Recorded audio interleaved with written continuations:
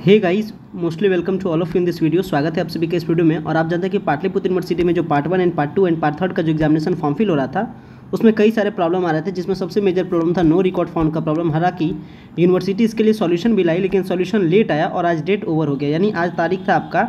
आठ and date आपका आज बेसिकली विदाउट लेट फाइन आज लास्ट डेट था। यानी नॉर्मली जो डेट था विदाउट लेट फाइन का वो डेट आज तक था। लेकिन जो प्रॉब्लम था नो रिकॉर्ड फाउंड का प्रॉब्लम वो लगातार सॉल्व नहीं हो रहा था। और इसके कारण यूनिवर्सिटी भी लगातार नोटिस ला रही थी और स्टूडेंट्स को समझा रही थी, इधर प्रिंसिपल को समझा रही थी प्रिंसिपल को ऑर्डर दे रही थी कि आप एक अपॉइंट कीजिए। हालाँकि कल से जो स्टूडेंट्स जो जो कॉलेज विज़िट कर रहे हैं, वो कॉलेज विज़िट करके वो प्रॉब्लम्स को ठीक करवा रहे हैं, लेकिन गरीमत ये रही सबसे ऑल ओवर की बात कि आपका डेट एक्सटेंड हो गया, यानी पाटलिपुत्र यूनिवर्सिटी में जो part one and part two and part third का जो एग्जामिनेशन फॉर्म फिल करने का जो डेट है, वो आपका डेट एक्सटेंड हो चुका है। क्या कुछ डेट एक्सटेंशन का नोटिस है तो हम लोग नोटिस को देखते हैं, जो पाटलिपुत्र यूनिवर्सिटी ने जारी किया है डेट एक्सटेंशन को लेकर के, और वो इसके जो एक्सटेंशन का नोटिस है, हम आपको पहले नोटिस दिखाते हैं। इसके बाद बताते हैं कि अगर आपका अभी तक अगर प्रॉब्लम आपका नो रिकॉर्ड फाउंड वगैरह का प्रॉब्लम या फिर ब्लैंक पेज का प्रॉब्लम अभी तक दिखा रहा है प्लस अगर आपको कुछ भी चेंज कराना रहे, जैसे कैटेगरी नेम मिस्टेक कुछ भी अगर चेंज कराना है तो उसका क्या कुछ प्रोसीजर है? प्रोसीजर भी हम आपके लिए बताते हैं। सबसे पहले हम लोग देखेंगे कि क्या कुछ नोटिस पाटलिपुत्र यूनिवर्सिटी ने जारी किया है regarding the examination form so guys देख सकते हैं, ये हमारा नोटिस है, पाटलिपुत्र यूनिवर्सिटी पटना, आठ दो हज़ार बाईस का ये नोटिस है एंड इस नोटिस में देखिए क्या कुछ बताया गया, आवश्यक सूचना। विश्वविद्यालय अंतर्गत सभी छात्र छात्राओं को सूचित किया जाता है कि परीक्षा प्रपत्र विश्वविद्यालय के पोर्टल पर भरने की तिथि नौ छः दो हज़ार बाईस से लेकर के ग्यारह छः दो हज़ार बाईस तक विस्तारित की जाती है यानी एक्सटेंड की जाती। है ध्यान रखिएगा, ये इंपॉर्टेंट पॉइंट है, जो तारीख है वो आपका विस्तारित किया जाता है, नौ से लेकर के ग्यारह तक, आज डेट था आठ एंड आठ आपका लास्ट डेट था बेसिकली विदाउट लेट फाइन लेकिन इस डेट को एक्सटेंड किया गया है, कल से, यानी नौ, दस, ग्यारह, आपको तीन दिन का और टाइम मिला एग्जामिनेशन फॉर्म फिल करने का। अगर इसके बाद भी कोई स्टूडेंट्स पीछे रह जाते हैं तो विलम्ब शुल्क के साथ स्टूडेंट्स बारह छः दो से लेकर के तेरह छः दो तक फॉर्म को फिल कर सकते हैं। फॉर्म भरने के जो चार्जेस थे चार्जेस के बारे में मैंने आपको बताया भी था कि अगर आप part one and part two के स्टूडेंट्स हैं, अगर आप B general and B C two category के स्टूडेंट्स हैं तो seven hundred rupees B C one S C S T category के स्टूडेंट्स हैं तो फाइव हंड्रेड रुपीज़ एंड अगर आप इस बारह के बाद भरते यानी बारह छः के बाद भरते तो विद आपको हंड्रेड रुपीज़ का लेट फाइन देना है। इसके साथ आपका हो जाएगा आठ सौ एंड छः सौ। वहीं अगर बात कीजिए पार्ट थर्ड में तो पार्ट थर्ड में कुछ माइग्रेशन चार्ज लगता है, कुछ डॉक्यूमेंट्स चार्ज लगता है मार्कशीट चार्ज लगता है तो टोटल चार्जेस मिला करके general and B C two category के लिए चौदह सौ पचास रुपये ध्यान रखिएगा and B C one and S C S T category के लिए नौ सौ पचास रुपये एंड विलम शुल्क आपका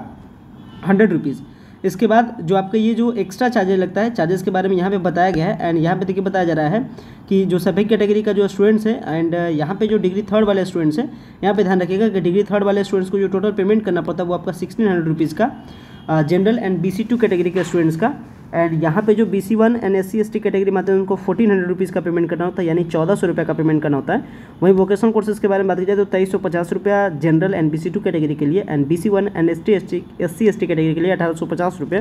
तो ध्यान रखिएगा, ये आपका जो चार्जेज है, वो चार्जेस के बारे में है। यहाँ जो चार्जेस मैंने आपको बताया ये बी सी ये part one and part two का वोकेशनल कोर्सेज का है। तो थोड़ा सा बोलने मिस्टेक हुआ था, यहाँ देख लीजिएगा। तो ये आपका जो ये डेट एक्सटेंशन का नोटिस है, वो आपका डेट एक्सटेंशन का नोटिस है। बात की जाएगा प्रॉब्लम के बारे में, यानी अगर आपका अभी तक नो रिकॉर्ड फॉर्म वगैरह का अगर प्रॉब्लम देख रहा है तो इसका सॉल्यूशन क्या है? फाइनली आज से हर एक कॉलेज में एक, जो अपॉइंट करना था, वो अपॉइंट कर दिया जा चुका है। और मैं बात करूँ ए कॉलेज के बारे में, कई सारे कैंडिडेट ए कॉलेज आज विज़िट किए थे वो एएन कॉलेज के बारे में बता रहे थे कि उनका लेटर एएन कॉलेज में लिया गया और वहाँ से बताया गया कि उनका प्रॉब्लम शाम होते होते ठीक हो जाएगा और वो एग्जामिनेशन फॉर्म को फिल कर सकते हैं। तो इसी प्रकार से हर एक कॉलेज में जो